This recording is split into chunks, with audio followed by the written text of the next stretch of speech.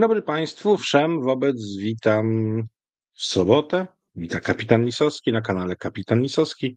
Witam na dzisiejszym update'cie frontowym, który właśnie skończyłem przygotowywać, więc nagrywam go w miarę na świeżo i myślę, że ujęte będą wszystkie istotne wydarzenia ostatnich dwóch tygodni, bo tak akurat podszedłem do tego w związku z dużą ilością innych zaj. Jeżeli się będzie podobało, zachęcam do lajkowania, komentowania, udostępniania, subskrybowania kanału Kapitan Lisowski, dawania rady z reklamami, wspierania kanału, a wszystkim tym, którzy kanał wspierają, bardzo za to serdecznie dziękuję i zachęcam do dalszej współpracy.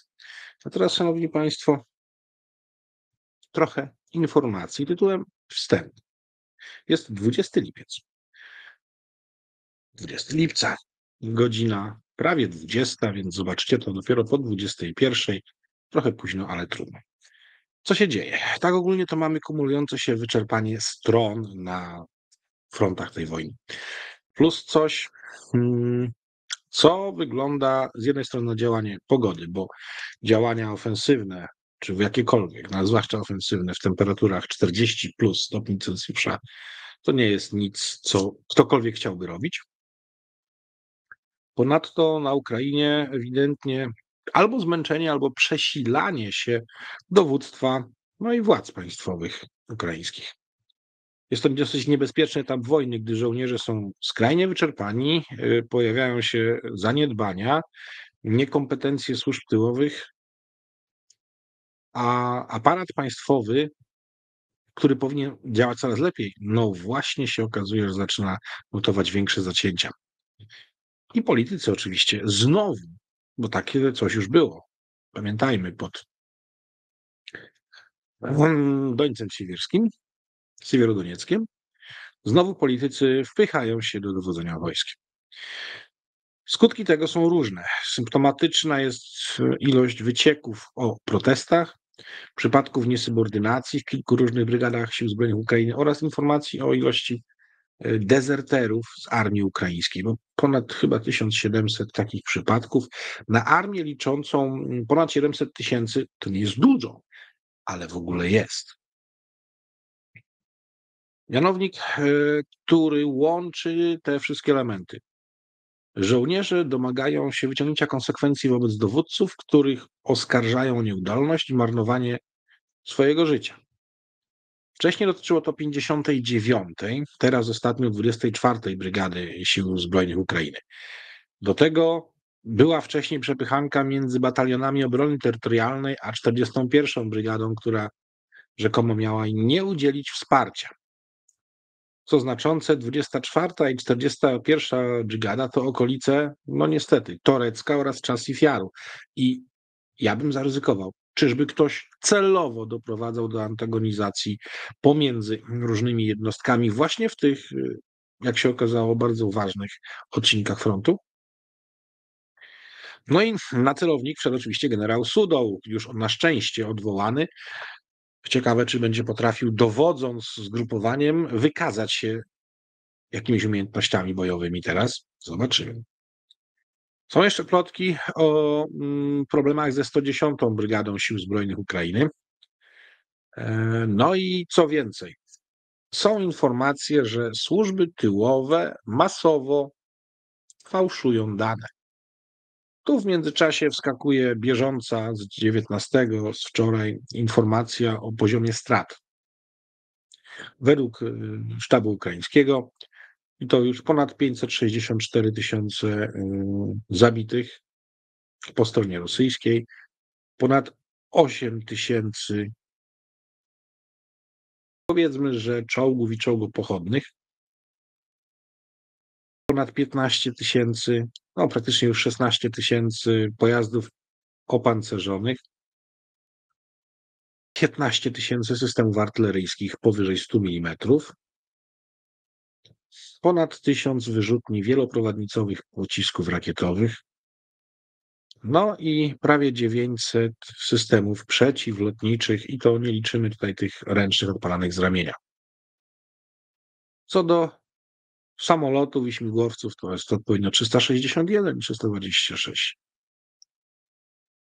ponad 12 tysięcy strąconych rosyjskich dronów e, różnego rodzaju, 2400 rakiet manewrujących,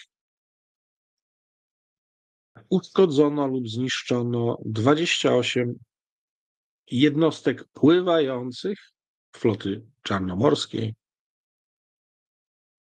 ponad 20, prawie 21 tysięcy pojazdów logistycznych, zwłaszcza tych e, cystern paliwowych. Oraz ponad 2,5 tysiąca e, sztuk sprzętu specjalnego. To są ilości, które zabiłyby większość łączonych razem ze sobą armii zachodnich. 18 Ukraińcy zestrzelili dwie rakiety manewrujące i 16 szachidów. Te rakiety to H-59, H-69. Ale są nowe rzeczy, o których trzeba powiedzieć, i tu sympatycznie i dziarsko wspomaga nas tu i teraz e, rzeczony właśnie tank, o którym można powiedzieć, że jest odpowiednio już na warunki ukraińskie doposażony i bardzo fajnie robi mi on dzień. Nie tylko zresztą. Dodatkowo, co można powiedzieć o ważnej rzeczy na tyłach?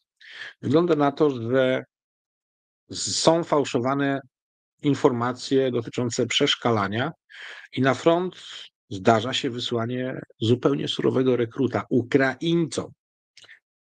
E, później podam pewien przykład, ale generalnie e, zdarza się, że to nie ma 30 dni szkolenia. Jak to w tym czasie wygląda u Rosjan, którzy przecież odpalili i stworzyli cały system szkolenia? Ano wygląda tak. Ten młodzieniec w wieku lat 18 zginął, miał dosłownie 18 lat i 30 dni. Patrząc na daty, kiedy się pojawił, no to przepraszam bardzo, ale nikt nie miał czasu. E, na to, żeby go przeszkolić. Skoro 8 kwietnia został skierowany na szkolenie, znaczy, przepraszam, zaciągnął się do armii, a 15 kwietnia zginął, to przepraszam bardzo, kiedy ten osiemnastolatek bez żadnego przygotowania, no chyba, żeby był nie wiem jakim czempionem jun armii, o czym akurat żadnych informacji nie mamy, kiedy on miał czas być przeszkolony do tego, żeby chociaż trochę przeżyć na polu walki. I tak to między bajki wkładajmy 96-dniowy kurs a jeśli on rzeczywiście działa, no bo wiemy, że niestety działa, no to jest to bardzo wybiórczy i bardzo nie dla wszystkich. Więc co robią dalej jeszcze Rosjanie? No wyciągają już muzealne sprzęty typu armata M46, opracowana w roku 1950 o kalibrze morskim 130 mm. Ja nie mówię, że ona jest zła. Na swoje lata była naprawdę dobrym dobrym sprzętem, już przez to popularna w świecie nadal, nawet w Ameryce Południowej, no ale już Rosja nie robi zasadniczo amunicji tego typu i wszystko to trzeba ściągnąć z Korei Północnej.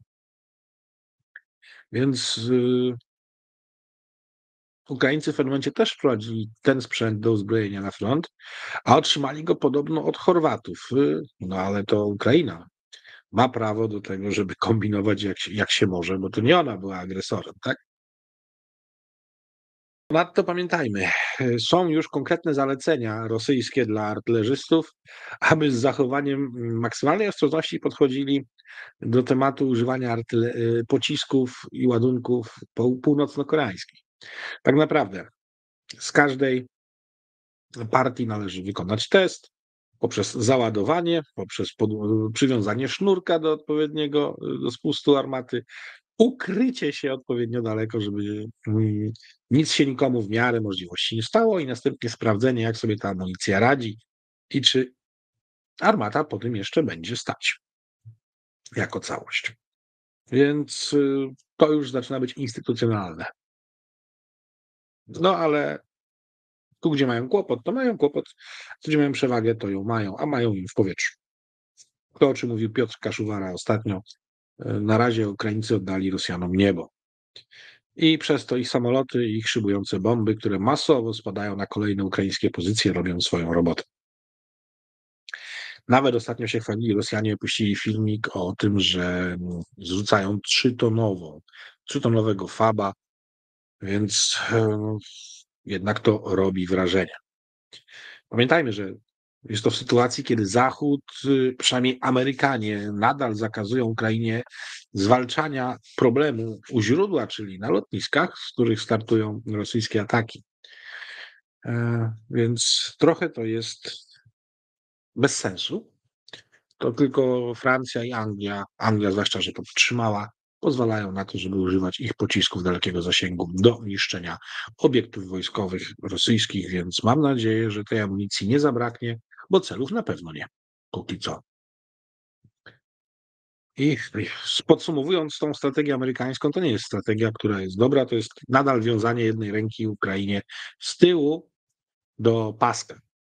Czasami jak się uda y, im y, odpowiednio poruszać, poluzować trochę te więzy, no to okolicach Charkowa zaczyna być Rosjanom gorąco, no ale tak poza tym to co jakiś czas ktoś zwraca uwagę. Komisje, kolejne komisje, które już zapowiedział Vance, będą chodzić, szukać, ścigać pieniędzy, które według nich się rozpłynęły na Ukrainie. No i nie chodzi o drobny miliard, bynajmniej według Vansa, tylko o więcej. Zobaczymy, jak to się będzie dalej toczyć. E, ale będziemy się spodziewać wielu kolejnych doniesień o brutalnych atakach i kolejnych, niestety, stratach terenowych po stronie ukraińskiej na co warto jest zwrócić uwagę. Znowu pojawiły się rakiety H-22, starocie, ale o dużym zasięgu, przeznaczone też przecież do głowic nuklearnych. Najwidoczniej Rosjanom udało się odrestaurować jakieś pociski, więc poleciały. No i co gorsze, ostatnio wystrzelono aż 14 rakiet kalibr. Z nagrań wynika, że Rosjanie odpalają je teraz z Morza Kaspijskiego. Tam przenieśli okręty, które mogły E, mogą odpalać tego typu rakiety. Wykorzystali do tego system kanałów i rzek. Istnieje taka możliwość między Morzem Kaspijskim a Morzem Czarnym, no i z tego Rosjanie skrzętnie skorzystali. E, do całkiem interesującego zagadnienia doszło mm, niedawno, czyli Rosjanie wypuścili cztery szachidy.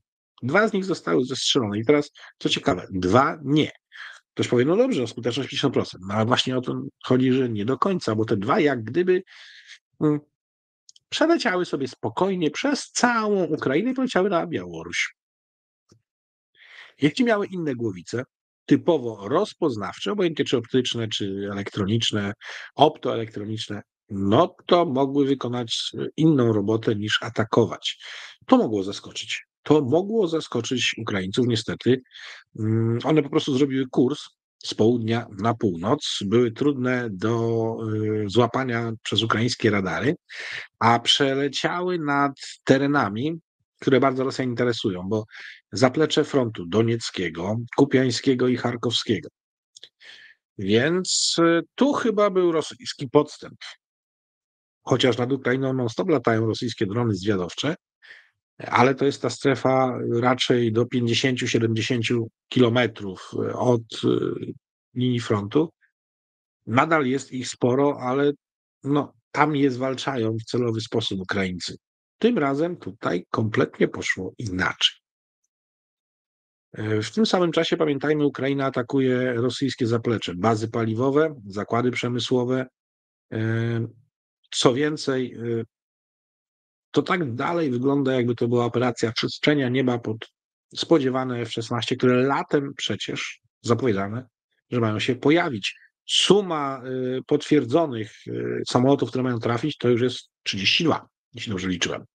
Ostatnio 24 duńskie, teraz y, Holendrzy i Norwegowie. Znaczy, ale to nie są jeszcze wszystkie, żeby było jasne.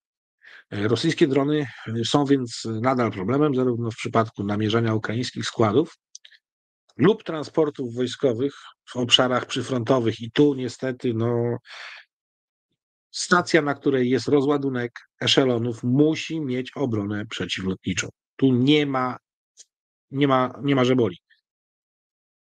O ile naprawdę niszczą dużo makiet, do czego się sami nawet Rosjanie przyznają, o tyle, no, sorry, nie można sobie pozwalać na taką mm, niefrasobliwość ze składami kolejowymi. E, ponadto są informacje, że nowo formowane, mało doświadczone jednostki ukraińskie ponoszą zauważalne straty na skutek ataków dronów samobójczych. I do tego bliskiego wsparcia, czyli mówimy o pododdziałach, które weszły do walki. Przykładem tutaj jest e, ukraińskiego batalionu Szkwał sformowanego ze skazańców pod Nowoseliwką pierwszą. E, no i tu właśnie kwestia szkolenia, czyli ktoś nabija w butelkę. Obydwie strony tej wojny mają te, kurde, sowieckie naleciałości, jeżeli chodzi o fałszowanie, zamiast robić porządną robotę. Ech. Naprawdę boli to. Ponadto przypomnijmy w kontekście tego, co się dzieje, że Jens Stoltenberg wyraził się bardzo negatywnie o dyskutowanej koncepcji zabezpieczenia polskiego nieba przed nadlatującymi pociskami rosyjskimi poprzez to, że można je było zestrzeliwać jeszcze na terytorium Ukrainy, to też nie jest za dobra rzecz. Trochę Stoltenberg mnie tym osobiście negatywnie zaskoczył. No, bywa. Nie można mieć wszystkiego od niego. Eee, ukraińska infrastruktura krytyczna jest słabo. Przerwy w dostawach energii elektrycznej są dłuższe niż jej, niż dostęp do niej. Co będzie z ciepłownictwem na zimę, zobaczymy, ale różowo nie będzie. To, co nie udało się rok temu, w końcu udało się teraz. Dlaczego? Bo rok temu Ukraińcy mieli więcej środków przeciwlotniczych, po prostu mieli więcej rakiet, tego wszystkiego. Co z tego, że postsowieckich, ale były. Teraz jest gorzej i udało im się, idąc na zmęczenie, naruszyć w bardzo, ale to bardzo poważnym stopniu tą ukraińską infrastrukturę krytyczną a przed nami jesień i zima. Teraz przejdźmy może do frontu. A jeśli chodzi o front, to zaczynamy tradycyjnie od jak najbardziej od y, Hersonia. No bo o co i inaczej. To pierwszy jest więc Herson, a tu na Hersońszczyźnie mamy następujące informacje. Przede wszystkim na tym odcinku Rosjanami najwidoczniej dowodzi już chyba co najmniej dwukrotnie uśmiercany generał Tepliński. Ale jak widocznie, skoro dwukrotnie miał być zdilejtowany, był ranny, no to ma odpowiednio dużo jeszcze szczęścia. Ostatnio miał trafić pod ukraińskie rakiety 30 czerwca. Ten drugi przypadek jest y, no, ciekawy, bo podobno mający do tej pory bardzo dobrą opinię generał zaczął zachowywać się, jak to mówią Rosjanie, dziwnie. Nie do końca właściwie. Wobec podwładnych ma też być niepotrzebnie brutalny, a jednym z jego rozkazów miał być jakoby zakaz ewakuacji własnych zabitych. Trudno się wypowiedzieć, być może coś mu siadło, a być może po prostu postanowił być taki jak e, paru innych, którzy zrobili karierę na tej wojnie, a byli wyjątkowo brutalni. E, nie są to oczywiście zmiany na lepsze. Mówi się o utracie zahamowań u niego, grubiańskości. Chyba ma coś z głową. Być może jest to skutek tych ataków. E, w międzyczasie, dwa tygodnie temu, Ukraina zakończyła tak naprawdę operację na przyczółku w rejonie Krynek. Nie wiem po co tak długo, nie wiem po co te straty. Ja przypomnę, no cały czas tu jest y, atakowanie, wymiana ognia artyleryjskiego. Ten przyczółek na krynkach pochłonął łącznie strat różnego rodzaju, dobre tysiąc ludzi, z 250 y, chłopa tu na tym brzegu, czyli prawym brzegu. Sens operacyjny tego zniknął szybko, sens taktyczny niewiele później no było to ciągle utrzymane. Zaczęło się jeszcze za Załużnego, kontynuował to Syrski. Po co, komu, jak, dlaczego. W tym momencie, no tak, ryzyko tego, że mogą próbować czegoś takiego cały czas jest. Sprzęt przeprawowy jest zgromadzony, ale czy to ma sens? A, więc tak. Co dalej? Skasowany, zdjęty ze stanowiska generał Sudoł został przeniesiony na odcinek Hortycja. No, z tego co wiadomo, to żołnierze są przeszczęśliwi z tego powodu, bo wiedzą, jak ciężką ma rękę i jak po sowiecku gościu dowodzi. E, to, co można powiedzieć, to ostatnimi żołnierzami ukraińskimi w Krynkach byli żołnierze 35. Brygady Piechoty Morskiej. To było 17 czerwca, 88 jej batalion. Jako ostatni schodzili stamtąd. Y, dwa tygodnie temu były próby rosyjskiego desantu na którąś z wysp w dolnym biegu Dniepru. Skończyło się to dla nich y, bardzo przykro, no ale na dzień dzisiejszy sytuacja jest taka, że Ukraińcy straszą Rosjan desantem na północny brzeg Dniepru. I to tyle. Żadnych korzyści z tego nie ma. Jednak na zapleczu tego wszystkiego dzieją się troszeczkę inne rzeczy. Cały czas wojna związana z niszczeniem tego wszystkiego, co jest tu na Krymie, z wielką przecież przyjemnością i żebym nie skłamał, w ostatnim czasie wykonano atak na bazę, która jest y, w ramach jeziora.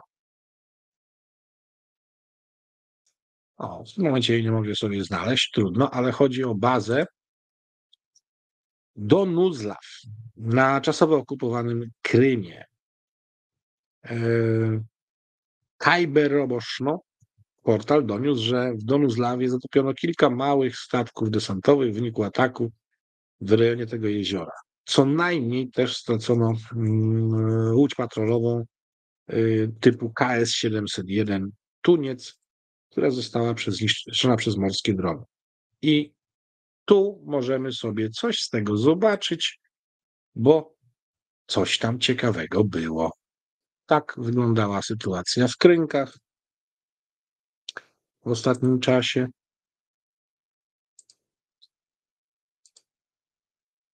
A tak, baza do Nuzlaw i ataki na nią zarówno dronów pływających, jak i dronów latających. Więc na Krymie dzieje się cały czas to samo. Jak się wali, to się wali. Czasami trzeba odświeżyć, Dobrze. Na całym odcinku zbiornika Nowokachowskiego jest spokój. Chyba nikogo to nie zaskakuje. Przechodząc jednak do sytuacji na Zaporożu, można powiedzieć jedno. W rejonie robotnego cały czas Rosjanie próbują, ruchy tutaj są niewielkie, błahodatne, również priutne. To samo, ale tu na północny zachód i wschód od Tokmaku gromadzone są rosyjskie siły. I tu najprawdopodobniej może dojść do zgromadzenia takiej ekipy, która ma się przyszykować mm, i na sygnał dowództwa rosyjskiego to zgrupowanie miałoby uderzyć na południowym teatrze y, walki, tu na Zaporożu. I na pewno nie chodzi o Robotynę, bo tam sytuacja jest zbyt trudna dla Rosjan. Y, rozbijają głowy od tak dawna, więc trzeba się zastanowić dokładnie, gdzie mogłoby im to najbardziej pomóc. I tu uwaga, na pewno nie idzie w kierunku Wuchedaru, ale Rejon Priutnego wygląda w miarę racjonalnie, aktywność dronów cały czas. Tutaj zawitne, Bażanna cały czas też coś się dzieje, ale stąd można też wykonać szybki marsz, tak aby wykonać przeprawę gdzieś tutaj, nawet przez zbiornik nowokachowski. Czy w rejonie Kamiańska jest wystarczająco głęboka obrona ukraińska? Jest. ale Nesterianka wygląda troszeczkę inaczej. I tu mogliby Rosjanie też próbować, więc ym, sytuacja jest dosyć tutaj ym, rozwijająca się w kierunku zwiększania rosyjskich możliwości. Przechodzimy do Marinki, gdzie w rejonie Marinki absolutnie się Rosjanie nie posunęli. Największa aktywność to, to są drony, Aro, a Staro, Michajliwka i Krasno Choriwka. Tu jest intensywne przepychanie się celem zajęcia całej tej miejscowości. A patrzcie, cały czas należy przypomnieć o tym, że czy to Marinka, czy Krasnochoriwka może się spotkać z czym? Z atakami, które w rejonie Oczeretnego Nowoaleksandriwki mogłyby uzyskać powodzenie i iść w kierunku na Szewczenkowe, tak aby dokonać głębokiego obejścia w tym rejonie. Stąd oraz stąd, przy czym z rejonu Oczeretnego jest w tej chwili bliżej. I to zdecydowanie może wpłynąć na poprawę sytuacji wojsk rosyjskich e, w Donbasie, w rejonie Doniecka. Ale na zapleczu z kolei wydarzyło się coś ważnego. Rostów nad Donem, tu baza Millerowo w jego pobliżu i została pięknie zaatakowana. Zaatakowana skutecznie. Tak wygląda krajobraz po ataku. Kilkunastu dronów. Strasznie Rosjanie płakali. Zarówno baza lotnicza, jakieś samoloty prawdopodobnie uszkodzone. Do tego dodajmy y, straty, jeśli chodzi o paliwo lotnicze, z którym Rosjanie mają całkiem spore problemy tak mniej więcej e, wyglądała skuteczność uderzeń. Więc to są punkty według krymskiego wiatru wskazujące miejsca ataku. Wygląda to całkiem nieźle. Wracamy więc do mapy. Na mapie możemy powiedzieć jeszcze jedną rzecz. Tu rejon Doniecka nie jest tym miejscem, gdzie skupia się największa uwaga. Poza rejonem Gorliwki, bo to tu jest Toreck. Uderzenia, jakie w rejonie na kierunek New Yorku oraz tu piwniczne, praktycznie wioska piwniczna jest prawie już zajęta w całości przez siły rosyjskie powoduje, że dokonują obejścia tych ukraińskich sił w tym rejonie. Neli, Piwka i Zaliżne. Dalej jest Toreck. Co jest za Toreckiem? Oczywiście bardzo ważna miejscowość Konstantyniwka. Te uderzenia mogą zagrozić całemu ugrupowaniu w tym rejonie, a ukształtowanie terenu jest rzeczą kluczową tu i teraz, tutaj tak, aby Ukraińcy utrzymali czy to kluczowe wzniesienia, czy też wyższe brzegi y, przeszkód wodnych, tak aby nie pozwolić Rosjanom na swobodę działania. I to jest bardzo ważna rzecz. Przesuwamy się w kierunku Krasno, w kierunku tutaj Bachmutu w rejonie Bachmutu zniszczona wieś Andriiwka i Rosjanie wyprowadzają y, swoje uderzenia tak, aby odciąć od Kurdiumiwki tutaj przynajmniej teren do tej drogi. I taki jest chyba plan rosyjski na najbliższy czas.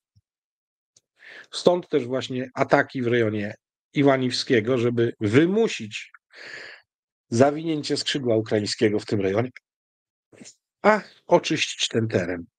Ta droga oczywiście nie jest w tej chwili czynna i wykorzystywana do zaopatrzenia, bo jest pod ogniem, ale jest to wystarczająco ważne, aby tu odzyskać ten teren. To jest jeden z niższych elementów odzyskanych w tej y, skomplikowanej przecież kontrofensywie Dalej przesuwamy się na północ i mamy Czasif Jar, w którym osiedle kanał już zostało zdobyte i Rosjanie, kiedy tutaj zablok zostali zablokowani, spróbowali uderzyć wyżej na Kaliniwkę.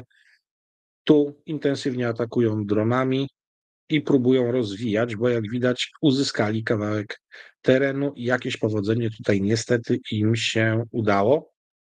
Patrząc wyżej, rejon Rozdoliwki i Wyimki, tu są próby atakowania z tego terenu, ale one w ostatnim czasie mocno uległy redukcji i przy założeniu, że cały czas Siewiersk jest głównym obiektem ataku, te działania są na tą chwilę słabe. Biłochorivka również stabilna sytuacja i cały tutaj przebieg starej linii frontu. Dochodzimy więc w rejon Torskiego, Las Syrybriański. Tu jest co pokazać w lesie syrybriańskim. Jest co pokazać, bo ten las to jest coś, co cierpi. To jest e, widok jak Verdun. Mm, to straszne jest. Ale tutaj na kierunku Tern też Rosjanie próbują, lecz im się nie udało. Kolejne próby na północ od Kreminnej w rejonie Makijówki, też standardowe działania. Coś więcej spróbowano w rejonie Piściane i Berestowego, tu oraz Kisliwka, ale nie uzyskali powodzenia. Jednak cały czas ich zamiarem jest tu w rejonie Piścianego dojście do rzeki Oskił, tak aby cały ten teren wyłączyć i dojść przynajmniej do Kupiańska i zająć jego wschodnie sektory, wschodnie dzielnice. I dochodzimy do rejonu charkowskiego, gdzie sukcesywnie Ukraińcy będąc bombardowani, w dużej mierze jednak wypychają Rosjan. Nie udało się Rosjanom uzyskać włamań takich, aby mogli artylerią atakować Charków. Podobnie, jeśli chodzi o ataki na Sumy, też im się to nie udało. Na tą chwilę te działania rosyjskie to jest przykład tylko i wyłącznie już odciągania uwagi ukraińskiej od frontu. Tak to wygląda. Ja na chwilę jeszcze wrócę do Torecka, bo a, jakby to powiedzieć, to są rzeczy, które bolą. Prawda? I tutaj troszkę więcej Tomek Fit czekał, żeby pewne rzeczy dorzucić. W końcu to zrobił i warto to wspomnieć. Rosjanie prą tam cały czas naprzód i choć te postępy nie są gwałtowne absolutnie, to jednak siły ukraińskie mają problem z ich powstrzymaniem. I tu Tomasz Fitek dobrze zgłębił sytuację. Ukraińska 24. Brygada, która stacjonowała ponad rok i broniła rejon Torecka, została przez dowództwo, czyli Sudowa i Syrskiego, wysłana do obrony Czasów Jaru, tu do góry. Dowództwo brygady poprosiło o nieprzenoszenie która jest, brygady, która jest już zaznajomiona z terenem i blokuje jakikolwiek ruch w stronę miasta. Odpowiedzią dowódca było ode, odesłanie w zamian 41. Brygady, już uszczuplonej przez aktywny udział w obronie Czasiwiaru. No i Rosjanie widzieli ten manewr, rozpoczęli atak na dwóch kierunkach, czyli New York, Jurivka i Toreck. New York i Toreck. Bardzo zresztą niestety skuteczny w czasie rotacji. Osłabione zgrupowanie ukraińskie w tym rejonie nie miało żadnej szansy obronić tego rosyjskiego natarcia.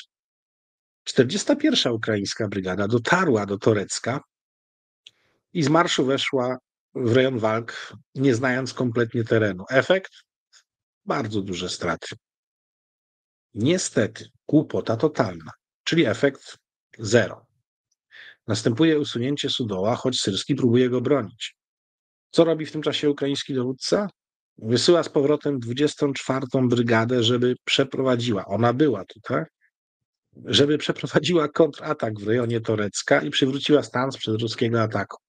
Ale Ruscy przecież aż tak głupi nie są. 24. brygada jej kontratak, porażka. Porażka absolutna. Pomimo próśb dowództwa ukraińskiej brygady, żeby nie wysyłać ludzi na rzeź. Czyli elementy dwóch ukraińskich brygad do, do odtworzenia. a Ukraina Dowództwo wysłała dodatkowo 95. Brygadę Powietrzno-Szturmową do stabilizacji tego newralgicznego odcinka. Do tego batalion Skala 425 i elementy 32. Brygady Zmechanizowanej. Wszystko po kłosie pierwszej błędnej decyzji. Chyba można się wkurzyć. Chyba można się wkurzyć.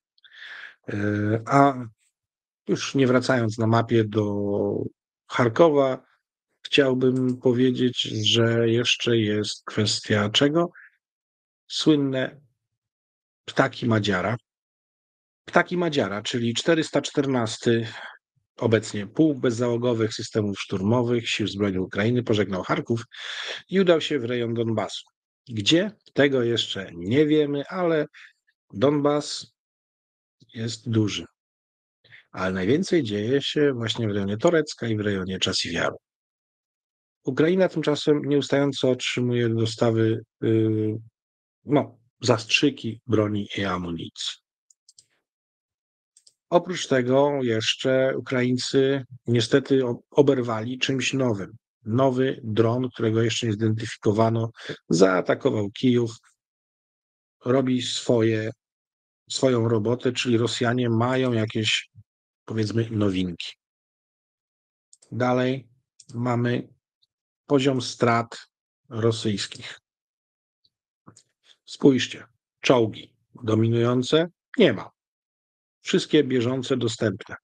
T62, T72, T80. Nieznane to czołgi różnego rodzaju, cztery sztuki. Transportery MTLB. Nieznane pojazdy, po prostu już nie znają ich na bieżąco, tego sprzętu, który się pojawia. BWP jedynki, różnych wariantów, dwójki, trójki, BTR-y. Łącznie 63 sztuki sprzętu i jedna doba. Straty ukraińskie to 20 sztuk, w tym niestety trochę artylerii, bo i M777, i goździki, i kraby, i Bogdany, i niestety nawet yy, grady. I nawet jedna wyrzutnia Iris TSLM. Polski dron Fly również. Ale w międzyczasie właśnie Francuzi wysyłają w najbliższym czasie sprzęt brygady zmotoryzowanej łącznie z artylerią w oparciu o pojazdy WAB i tu będzie to dobry ruch. Oprócz tego jeszcze pamiętajmy, Hiszpanie dorzucili 10 czołgów Leopard 2-4, dużo środków przeciwpancernych, więc całkiem to jakoś wygląda. Brygada będzie z tego jako taka, przynajmniej z kompanią pancerną. Pamiętajmy jeszcze 24 pojazdy AMX-10RC od Francuzów, więc to nie będzie pierwsza lepsza brygada. Podczas konferencji prasowej, jaka miała miejsce 15 lipca w Kijowie, prezydent Załęski poinformował, że druga konferencja pokojowa odbędzie się w okolicach listopada tego roku i że spodziewa się na niej przedstawicieli Rosji. Ukraiński wywiad twierdzi, że jeden z pilotów biorących udział w ataku 8 lipca, w tym, którym zaatakowano szpital dziecięcy w Kijowie, nie mogąc pogodzić się z tym, co co rozkazano mu zrobić rzekomo, skontaktował się z wywiadem ukraińskim, przekazał namiary na innych pilotów, dowództwa i tak dalej. Nie tak dawno temu pilot Tu-95 miał bliskie spotkanie z kulą od Makarowa, więc powinni o tym myśleć. Teraz zmiana na stanowisku. Mm, o, tu jeszcze zanim zmiana stanowiska. Tak wygląda w tej chwili polowa odlewnia dwóch odlewników zabranych z przemysłu trafiło gdzieś do jakiegoś jednostki remontowej i, i odlewają z kiepskiego staliwa lub żeliwa elementy, których nie mogą dostać do czołgów, jakie mają na swoim wyposażeniu. Hmm. Ciekawe. A tutaj nowy i stary minister. Co, jak i do czego to wszystko się trzyma. Zmiana ministra, oprócz tego, że ma uporządkować i usprawnić współpracę na linii wojsko-przemus, ma jeszcze jeden najważniejszy cel. Z Szojgu nie chciał nikt rozmawiać. Z Biełousowem Amerykanie rozmawiali już trzykrotnie w ostatnim czasie, od kiedy został ministrem. Kiedy ostatnio tyle rozmawiali? W marcu 2023 roku. Jest różnica? Jest. Ukraińcy działają ze swoimi budowanymi korwetami w, to, w Turcji. To korweta Hetman Iwan Mazepa, która nie ma teraz żadnych szans na to, aby pojawiła się na Morzu Czarnym, bo jej Turcja nie przepuści. Ponadto pamiętajmy, zbudowanie, a jeszcze nie jest do końca zrobione, to jest jedno, wyszkolenie załogi to drugie, a potem jeszcze jej sprawdzenie, czy się nadaje do działania, to trzecie. Tu lekko nie ma. Tym czasie w Kijowie doszło do smutnej okoliczności. W Kijowie na cmentarzu Bajkowa, największej nekropolii w stolicy, odbyły się w sobotę pożegnanie z polskim żołnierzem Legionu Międzynarodowego, Tomaszem Marcinem Senkalem, który zginął w obwodzie ługańskim. Rosjanie nie ustają w wysiłkach na to, by kontrolować w pełni strumień informacji wypływających z frontu. I tu akurat skazano za szpiegostwo korespondenta The Wall Street Journal. Zakładam raczej jako pewnik, że wyrok sprawi, że wieści z Moskwy będą przekazywane już tylko przez centralnie sterowane media. Nikt inny nie będzie próbował tego. Informacja ta pochodzi z, po, z redakcji Post Prawda Info. A tu jest, hmm, jak to niektórzy określają, odpowiednik pewnego pana od gaśnicy, ta pani z Ukrainy. No, miała bliskie spotkanie e, z paragrafem 9 i, i już jej nie ma. Mm, ci, którzy porównują tę panią z naszym gaśnicowym, to hmm, jakby to powiedzieć, jest w tym wiele prawdy. Natomiast jednej rzeczy ona przynajmniej nie zrobiła. Ta pani nie robiła sobie fotografii z przypadkiem oczywiście spotkanym rosyjskim szpiegiem, którego nazwisko, żeby mnie skłamał, brzmi o, Sfiridow, foto z 2018 roku, tak jak to zrobił nasz, a jego w 2015 wydalono z Polski. Ciekawe, prawda? Samoloty F-16. W ostatnim czasie doszło do spotkania e, premiera Zełenskiego, czy prezydenta Zełenskiego z naszym premierem Tuskiem i pojawił się specyficzny komunikat, który trochę zagotował polski internet. Na szczycie Europejskiej Wspólnoty Politycznej w UK, e, aby omówić kwestię wzmocnienia zdolności obrony Ukrainy, rozmawiali o różnych rzeczach i ma jakąś pozytywną decyzję polskiego rządu w pewnej konkretnej sprawie, która pozwoli Ukrainie szybciej otrzymać myśliwce E-16 i tutaj jestem wdzięczny premierowi Tuskowi. Oczywiście już się pojawiły y, odnocowe dywagacje, że to Polska daje swoje F-16. Absolutny fake, totalny, natomiast czegoś, co się tyczy czegoś, co się tyczy obsługi i tym podobnych, to jest kompletnie inna sprawa. Co więcej, Polska w końcu, podobno za kilka dni, ma podjąć decyzję dotyczącą programu ORKA, czyli od dawna brakujących nam okrętów podwodnych. A warto przypomnieć, po co na te nowoczesne okręty. Bo to już procedura, niektórzy myśleli, że trwa 12 lat. Nic z tych rzeczy. Z pierwszych to się pojawiło temat w 98 2012. 98. To jest dużo więcej, więc jest słabo. Potrzebujemy tego. Polskie służby zidentyfikowały napastnika, który zabił naszego 25-letniego żołnierza, sierżanta pośmiertnie Sitko. Na tą chwilę Białoruś nie podejmuje w ogóle rękawicy, ale nasze służby zidentyfikowały i tematu nie odpuszczą. Jeśli chodzi o sytuację z e, jawną napaścią i znieważeniem munduru polskich żołnierzy i funkcjonariuszy na pasmu granicznym. Policja dzięki informacjom uzyskanym od aktywnie działających, jakby to powiedzieć, ludzi, których oburzyło do samego sporu co się wydarzyło, namierzyła ich, kary będą się sypały w wysokości od 5 tysięcy złotych w górę za to, co się wydarzyło i nie będzie przebacz wśród osób, z którymi policjanci wykonali czynności są obywatele Polski, Wielkiej Brytanii, Niemiec, Chorwacji czy Nowej Zelandii. Chcieli, to będą mieli. Chcieli, to będą mieli. A to jest APR 155. Skąd to wszystko nagle wyskoczyło? Tu pozdrawiam pułkownika Tomka Lisieckiego. Informacja pojawiła się o zamiarze przeprowadzenia wstępnych kalkulacji, konsultacji rynkowych, przepraszam, dla zadania 155 mm amunicja precyzyjnego rażenia 155 APR. Jest sporo dokumentów dotyczących tego wszystkiego, ale no, omawialiśmy to z Tomkiem Lisieckim. Lepsze jest to niż nie mieć nic, ale to nie jest to, co byśmy w ogóle chcieli.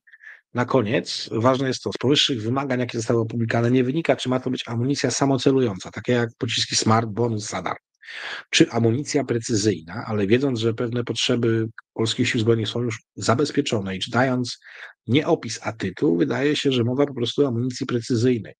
Ukraina w konsultacjach nie narzuca rodzaju naprowadzania, co jest i no, w mojej opinii mądrą decyzją. Oczywiście będą kibicować polskiej APR 155 programu Szczerbiec. Jest nadzieja, że zeszły rok na Ukrainie otworzył oczy na problem, który wielu ekspertów opisywało od lat. To jest, że lepiej mieć naprowadzanego, naprowadzany pocisk typu SAL, ale trafiającego w cel na ponad 20 km, taki jak APR 155 Szczerbiec, niż super hiper Excalibur zasięgu 50, za to nie trafiającego w cel na skutek rosyjskiej walki radioelektronicznej i zagłuszania GPS-a. Zawsze coś za coś. A tu Baćka, przepraszam, nie Baćka, tylko Putin, Putin i gra. Gra, która miała bijać szpilę Polsce, czyli smuta. Tak to wygląda, że miliard rubli, który został wrzucony w to wszystko, hmm, poszedł psu na budę. Chcieli z Polski zadwić najwyraźniej raz, że kosztować to będzie Kreml jeszcze więcej, ale dwa, im się to kompletnie nie udało. Jednak, jak to u Rosjan bywa, niekoniecznie ich to czegoś nauczyło i chcą zrobić następny krok, a plany mają ambitne i można przypuszczać, że również nadal chamskie, prymitywne i zakłamujące historię. Jednak dla Kremla to żadna przeszkoda. Tło historyczne jest masakryczne, Obraz Polaków w smucie miał być jednoznacznie oczywiście zły. Wypompowano te 45 milionów złotych, ten miliard rubli. Pieniądze znikły i co? I, i sukcesów brak. A premiera była klapą totalną. Traćcie dalej pieniądze. A tu jest skutek ataku, jaki wykonał kraj z Morza Martwego na Huti w Jemenie. Po to, by w jasny sposób zrobić odwet za to, co oni robią w ostatnim czasie, atakując bezpośrednio ten kraj. A tu wygląda na to, że organizacja Dawet, Dawat e Islami z Pakistanu udaje się na Cypr prowadzić, hmm, jak to nazwać, ewangelizację muzułmańską yy, w obcym kraju. Teraz proste pytanie brzmi, komu kraj muzułmański, jakim jest Pakistan lub jakikolwiek inny, pozwala na prowadzenie działań ewangelizacyjnych innych religii? Żadnych. Żadnych. Oprócz tego Ania Dyner dziękuję. Dzisiaj mija 30 lat, odkąd Aleksander Łukaszenka złożył po raz pierwszy przysięgę prezydencką. I to jak skopał ten kraj, który jest jeszcze resztką Białorusi. A tu Tomek Grzywaczewski zwrócił uwagę na coś kompletnie głupiego bo eksperci Onetu, albo raczej Onet publikuje, że eksperci ostrzegają Europę i USA, że te dwa, Europa i USA, wskrzeszają zagrożenie z czasów zimnej wojny. To w końcu, przepraszam bardzo, kto napadł? Ja się pytam, kto napadł na Ukrainę? Kto przyprowadził wojnę na, do Europy? Stany i e, Europa, czy Rosja, czy Kacapia, czy e, Kremlatorium? To taka moja nazwa na Kreml. Kremlińskie krematorium.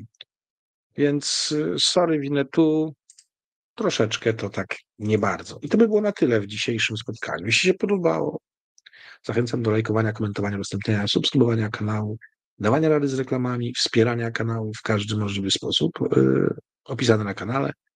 Wszystkim tym, którzy wspierają, pomagają, bardzo serdecznie dziękuję i nieustająco zapraszam innych do współpracy. Wszemi wobec, do usłyszenia, do zobaczenia.